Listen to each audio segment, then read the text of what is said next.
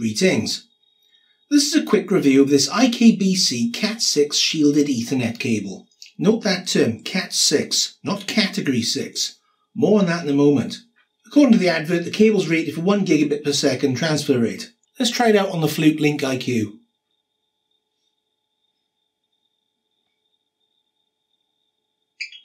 Not bad. Fluke reckons it can do 10.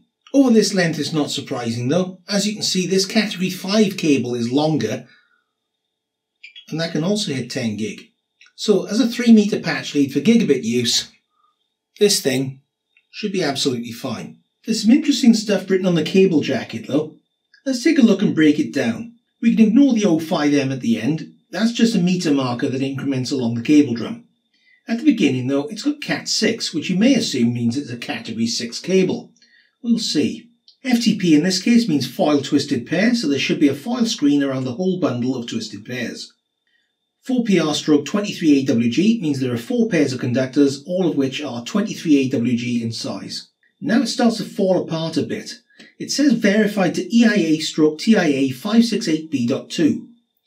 568B.2, however, only covers up to Category 5E cable.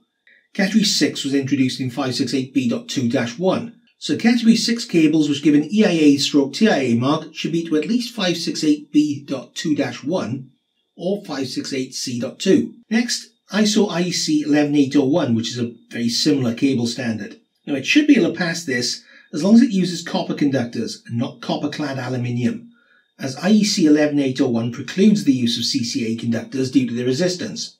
We'll check that in a moment, but the web page states that the conductors are copper. Finally, we have EN501.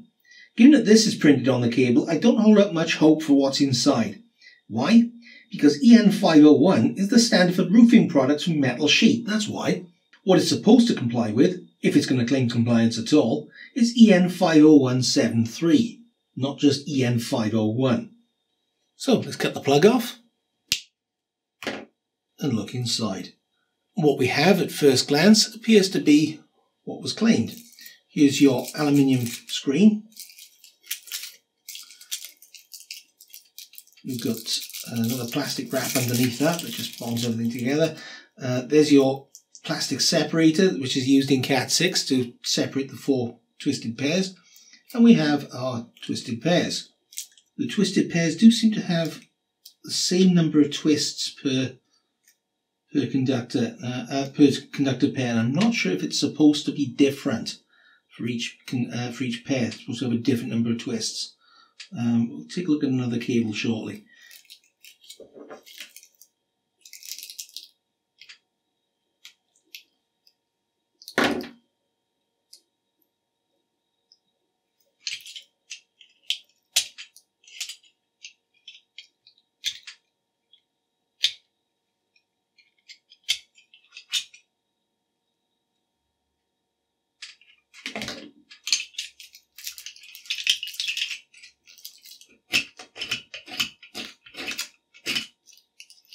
Yeah, that's definitely aluminium. If I scrape the, if we use the blunt edge of the knife, it's brought all the copper just straight off.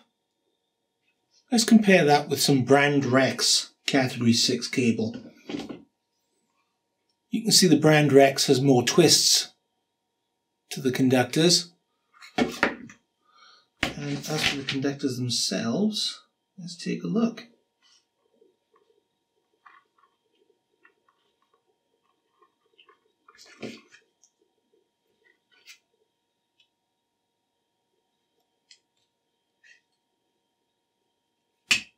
Ah, of course, this is using multi-strand cable.